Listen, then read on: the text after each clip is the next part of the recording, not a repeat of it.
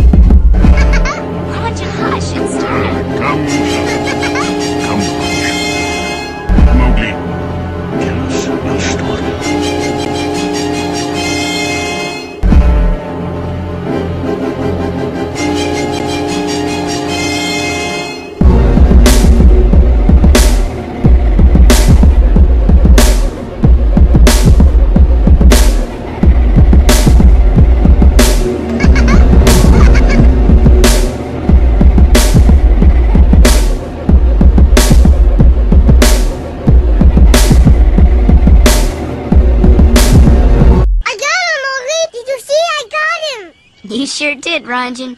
But it's gonna be kinda hard to finish the story now. But we all know.